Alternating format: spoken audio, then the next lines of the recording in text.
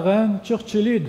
Nåde være med dykk og fred fra Gud vår Far og vår Herre Jesus Kristus.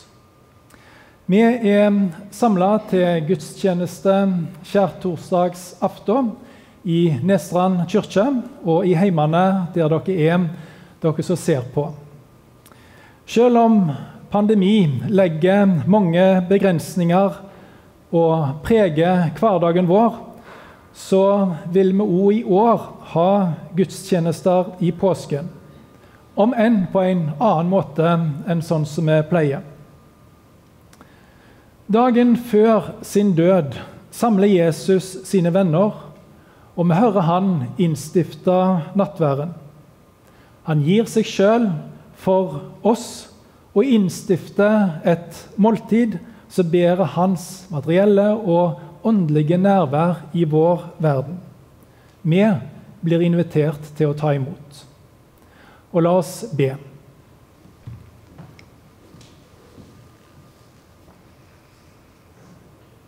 Herre Jesus Kristus, du ga deg sjøl til soning for syndene våre og innby oss til ditt hellige måltid.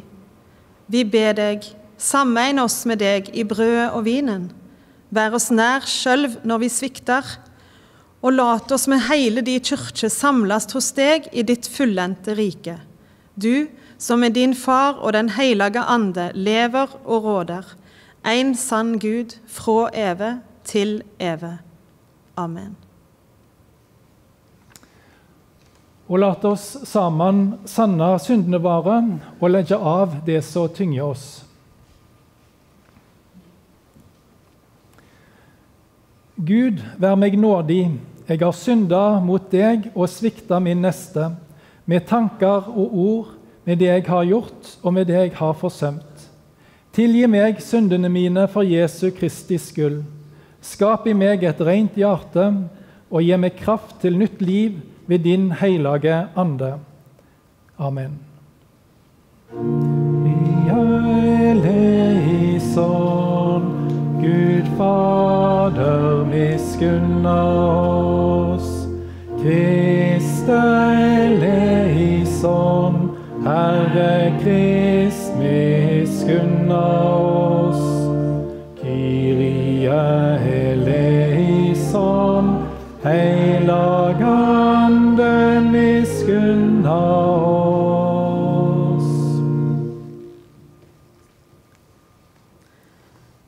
Det står skrevet hos profeten Jeremia.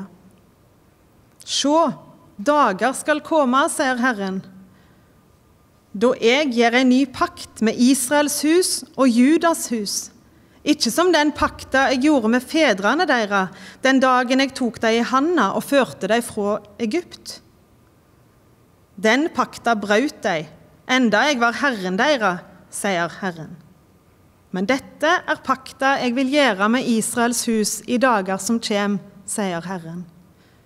Jeg legger mi lov i sinnet deres og skriv henne i hjertet deres. Jeg skal være deres Gud, og de skal være mitt folk.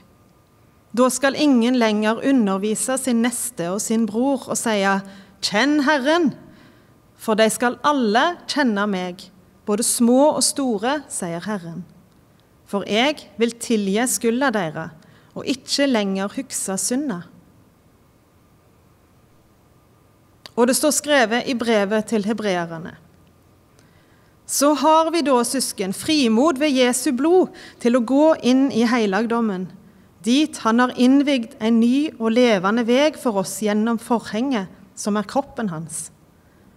Og siden vi har en så stor prest over Guds hus, så lat oss stige fram med ærlig hjerte og full visse i trua, med hjertet rensa for vondt samvitt og kroppen bada i rent vann. Lat oss holde urokkelig fast på vedkjenninga av vona, for Han som ga lovnaden, han er trufast. Og lat oss ha omtanke for hverandre, så vi oppgløder hverandre til kjærleik og gode gjerninger. Lat oss ikke holde oss borte når forsamlinga vår kommer sammen, som noen har for vane. Men lat oss sette mot i hverandre, og det er så mye mer som det ser at dagen nærmer seg. Slik lyder Herrens ord.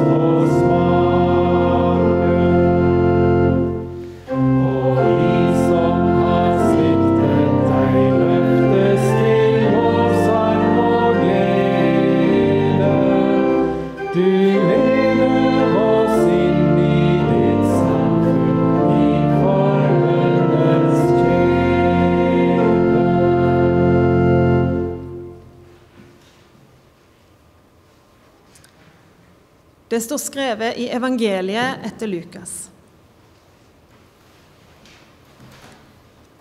Da tida kom, gikk Jesus til bords og apostlene med han, og han sa til dem, Jeg har lengta inderlig etter å ete dette påskemåltidet i lag med dykk før jeg skal lide. For jeg sier dykk, aldri mer skal jeg ete påskemåltidet før det har blitt fullenda i Guds rike. Så tok han et beger, ba takkebønner og sa:" Ta dette og del det mellom dykk. For jeg sier dykk, heretter skal jeg aldri drikke av frukta fra vintreet før Guds rike er kommet. Så tok han et brød, takka og brøt det, ga dem og sa:" Dette er min kropp som blir gjeven for dykk. Gjør dette til minne om meg. Likeens tok han begeret etter måltidet og sa:" Dette begeret er den nye pakt i mitt blod, som blir utrent for dykk. Men sjå, han som svik meg, har handa her på bordet sammen med meg. Menneskesonen går bort, som det er fastsett. Men ved det mennesket som svik han, da tok de til å trette med hverandre om hvem av de det kunne være som skulle gjøre dette. Slik lyder det hellige evangeliet.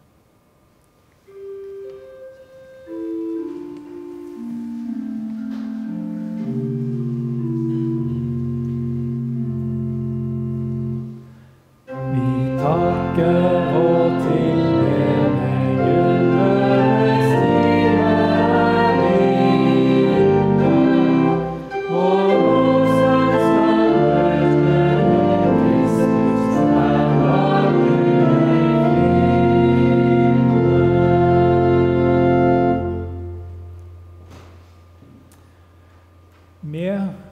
takker og tilber deg. Underets time er inne. At eh, nåde og tilgivelse blir gitt oss i brødet og vinen, i nattverdens måltid, det er virkelig et under. Og Jesus er i høyeste grad verd vår tilbedelse. Måltid. Påskemåltid. Påskemåltidet er proppfull av mening. Og jeg tror at for oss moderne, sekulære mennesker så er det ikke så lett å se den dype meningen som læresveinene og Jesus levde i og opplevde når de var samla til måltid. For oss så kan jo et måltid lett være pizza og cola foran TV-en, og hver enkelt lever i sin lille verden mens en tar til seg maten.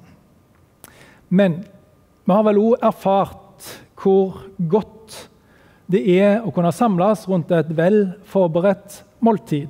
Familiemåltid eller et måltid med venner. Og vi merker hva det gjør med oss, og hva det kan skape av tilhørighet, av opplevelse, av fellesskap og av nærhet.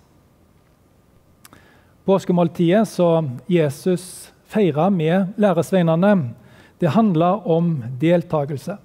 Det handler om fellesskap og om nærhet.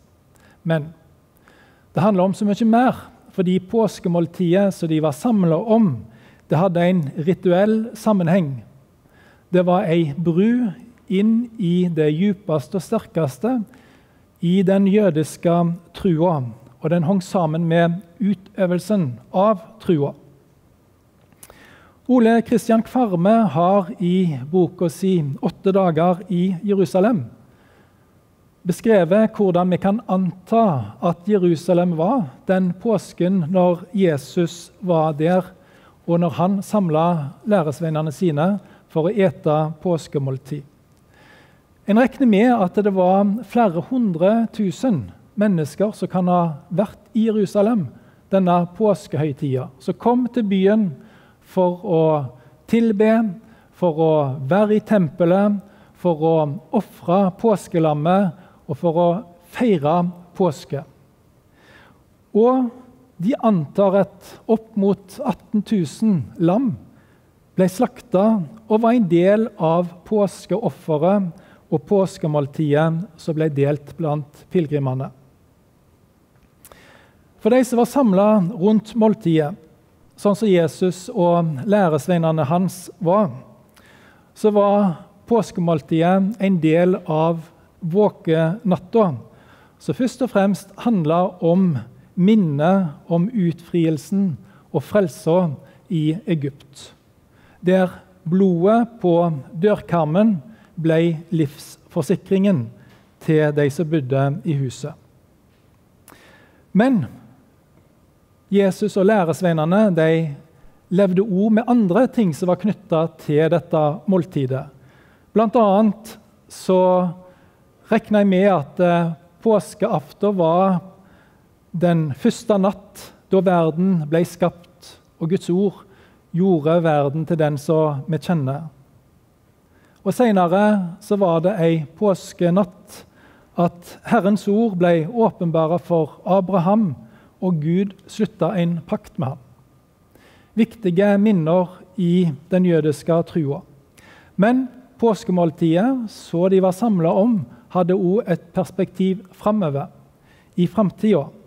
Fordi en venta på at verden skulle nå sin fastsatte time og bli forløst, og Messias skulle stige fram en påskeaften.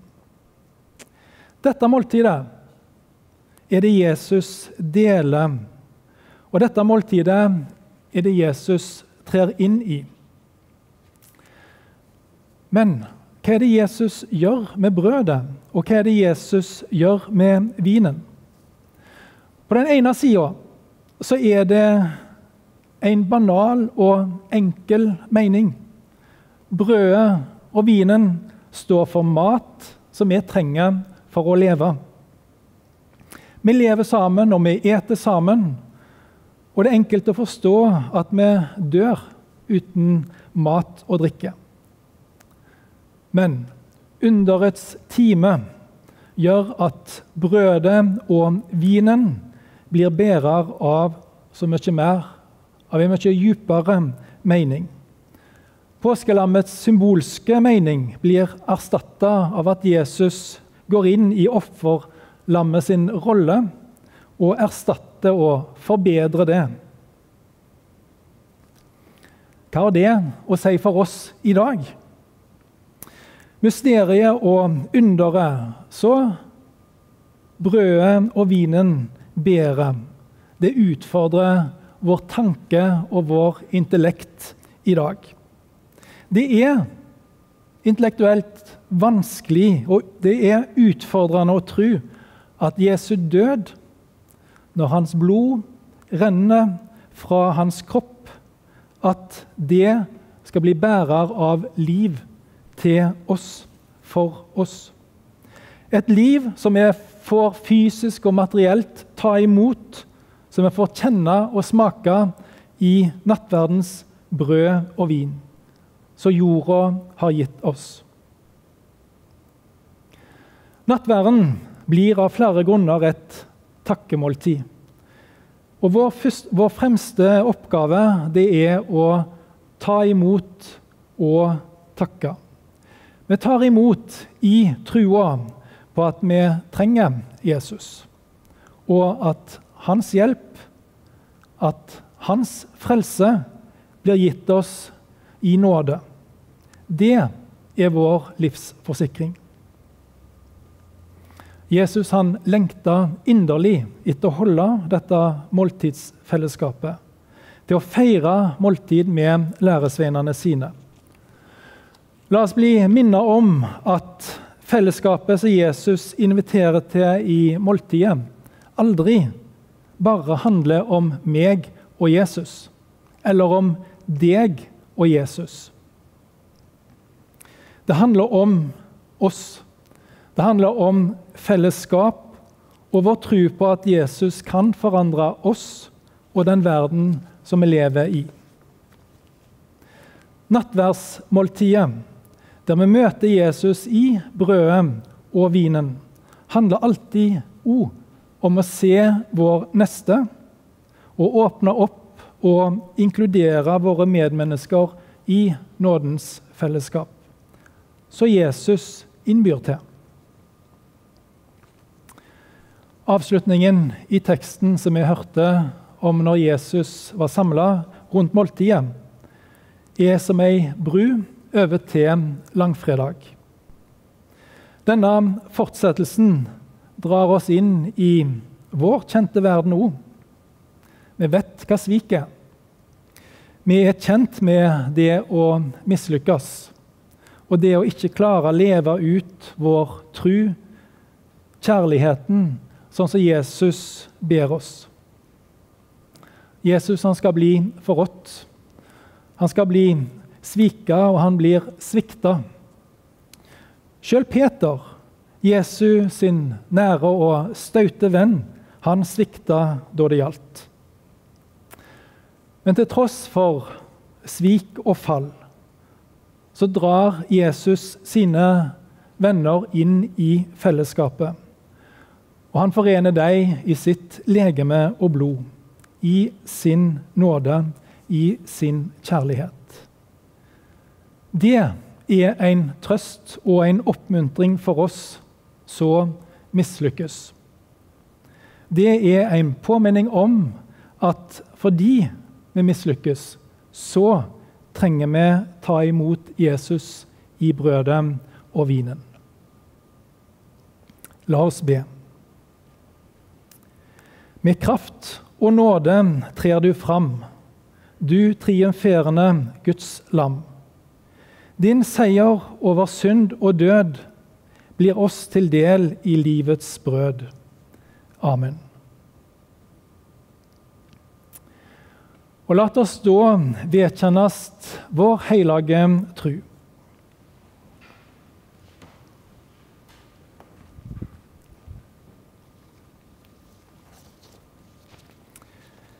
Jeg tror på Gud Fader, den allmektige, som skapte himmel og jord.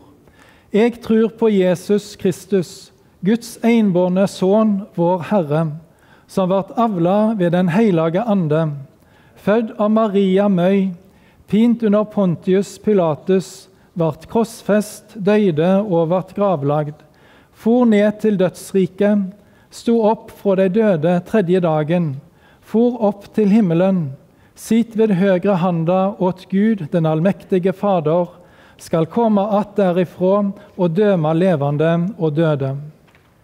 Jeg tror på Den hellige ande, ei heilag allmenn kyrkje, et samfunn av de hellige, forlating for syndene, oppståa av lekamen og evig liv. Amen.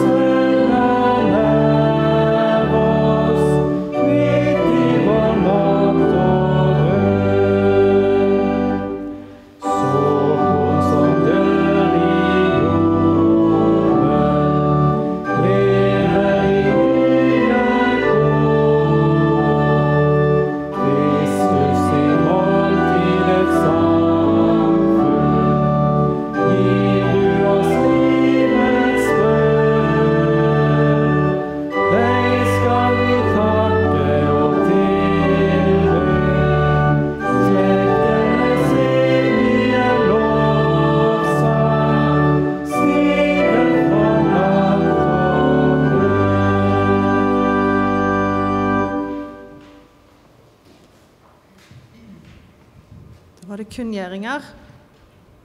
Offeret i dag går til Kirkens SOS. Og det kan vi gi på VIPS nummer 62 74 11. Nummeret vil stå på skjermen under salmen etterpå. Og Kirkens SOS sier om seg sjøl de er landets største døgnåpne krisetjeneste på telefon og Internett. Hos oss er det alltid noen som tar imot samtaler hver eneste dag, døgnet rundt, også i ferier og høytider. Kirkens SOS ønsker å fremme livsmot og håp for den som er i følelsesmessig eller eksistensiell krise, og som kjenner at livet utfordrer. Vi tåler å høre og har tid til å lytte.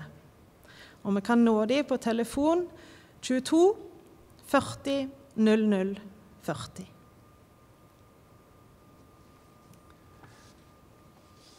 Og la oss sammen be for verden og for Kirka. Gud, vår Far. I denne natt, da han ble forrådt, vaska Jesus føttene til læresveinene sine. Vi ber deg, gi oss kraft til å følge hans eksempel og tjene hverandre i kjærleik. Herre, I denne natt, da han brøt brødet, ba han at de skulle være ett. Vi ber deg, Gud, styrk de kirke på jorda og gi egenskap mellom truende.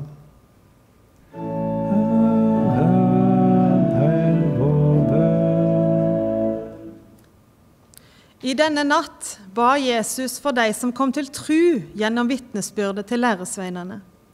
Vi ber deg, La evangeliet forkynnes til frelse, frigjøring og håp.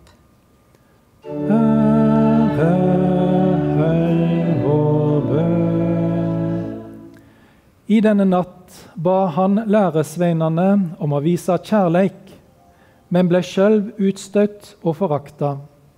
Vi ber deg, Gud, hold de hand over alle som er ensomme og alene.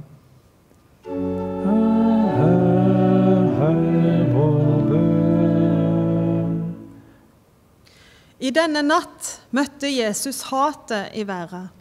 Han ba for sine læresveiner at de skulle bli vara fra det vonde.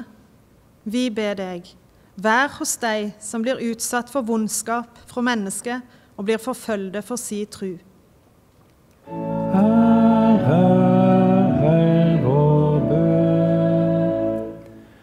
Gud vår Far, i denne natt løfta Jesus frelsens beger og gikk lydig mot døden. Han gav oss håpet om at vi en gang skal se Hans herligdom og være der Han er. Vi ber deg, hold håpet levende i oss. Lat oss finne hvile hos deg, til du reiser oss opp på oppstandelsens morgen.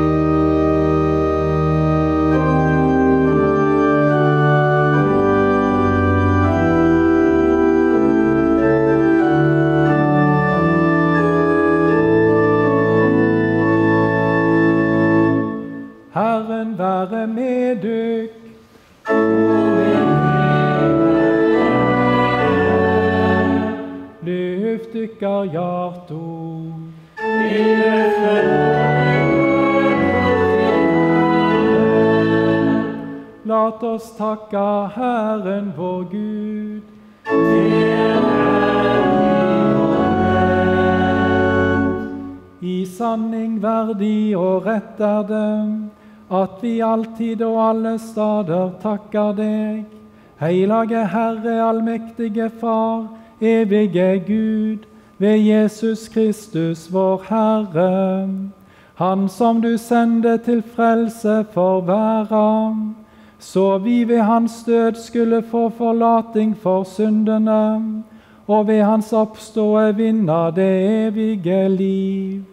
Ved han lovsyng englene din herligdom, og de kyrkje i himmelen og på jorda priser navnet ditt med samrøysta lovsang. Med deg vil vi òg blanda våre røyster og til bedane synga.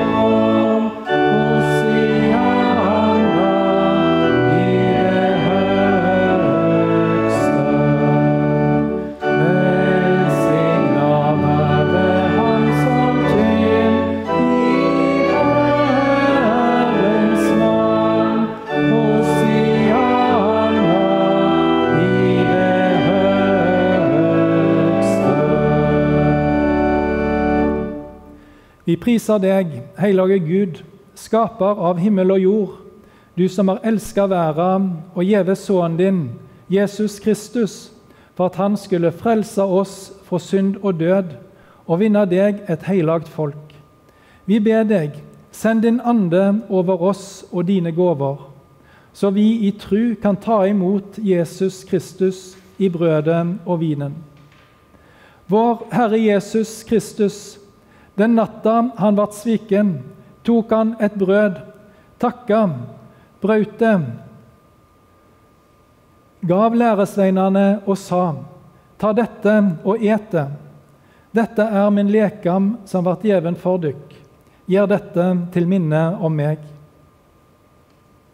Likeens tok han kalken etter måltidet, takka, gav dem og sa:" Drikk alle av den. Denne kalken er den nye pakt i mitt blod, som blir utrent for dykk til forlating for syndene. Så ofte som det drikker han, så gjør det til minne om meg. Vår Far i himmelen. Lat navnet ditt helgast, lat riket ditt komme. Lat viljen din råde på jorda slik som i himmelen. Gjev oss i dag vårt daglige brød, og tilgjev oss vår skyld, slik vi òg tilgjev våre skyldnere. Og lat oss ikke komme i freisting, men frels oss fra det vonde.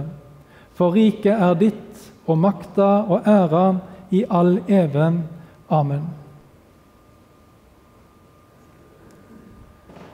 Guds fred være med dykk. Kom, for alt er ferdig.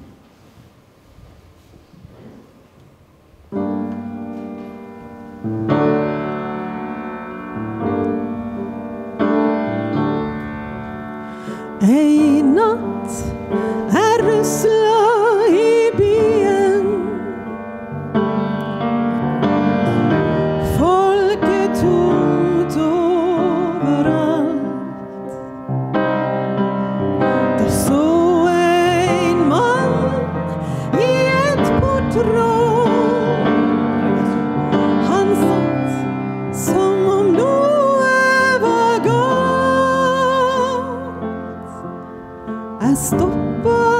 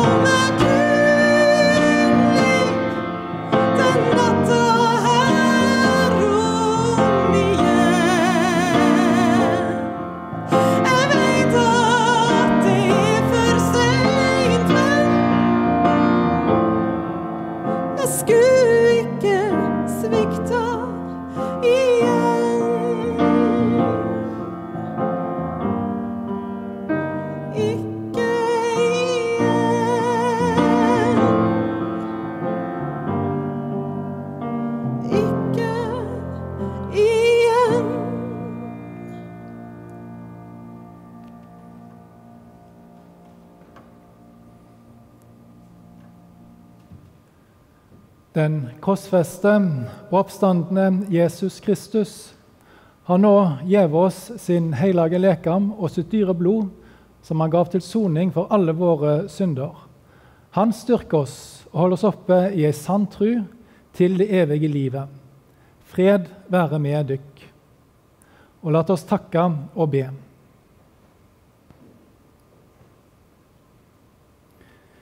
Vi takker deg, nådige Gud, du som gjennom brødet og vinen har gitt oss del i Jesus sigerrike død og oppståe. Styrk oss ved din ande til vitnemål og tjeneste i verden. Amen.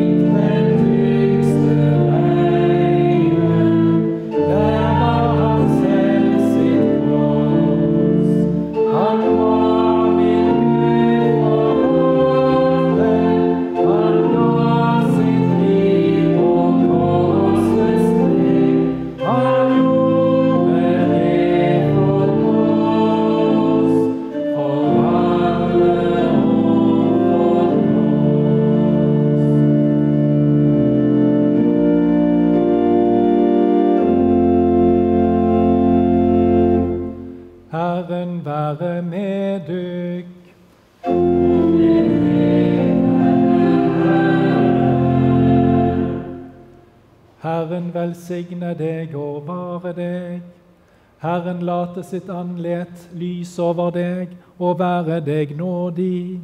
Herren løfte sitt åsyn på deg og gjeve deg fred. Amen.